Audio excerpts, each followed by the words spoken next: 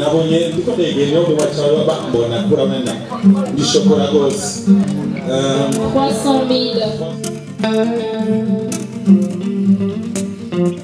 ijya ah, ni association y'abapolisi chrétienne.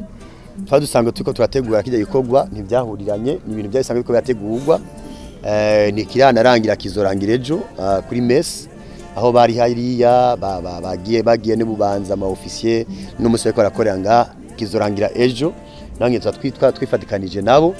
Twebwe tukuvuga tuti byahuye n'ijya programme. Si ibintu byaciye bitegurwa ngo tugende gukora kuko ni ibintu biri annuel.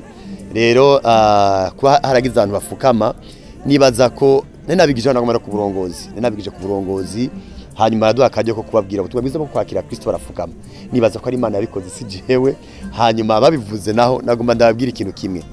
Eh, bibiliya iratubwira yuko bon, mumbare kuvuga bibiliya kuko ndi umupasitori bibiliya avuga yuko ataburongozi namwe buva ku mana kandi imana yazizeho aba autorite nk'abajya kugira ngo bahane inkozi z'ibibi.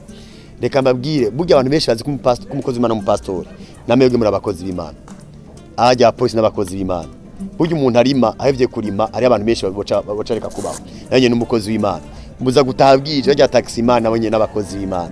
Rero l'objectif yo kugenda gushikira abantu bose c'est pour les sensibiliser ko umuntu wese akwiye gukora yisunze les valeurs de Dieu ahari umujournaliste hirya no hino kugira ngo vy'ukuri imana ishobore gukwira atamaremeranya arimwo vy'uko umuntu akora akisunga les valeurs divines. Atake policier rero nawe arakwiye guhagarira ukuri kuko na yo yabwiye ngo nimuhebe akazi mukora igipolisi ahubwo cyangwa igisirikare nimusabe ibirenze ibyo mwemererwa kugira ngo akazi kagende neza. Merci beaucoup.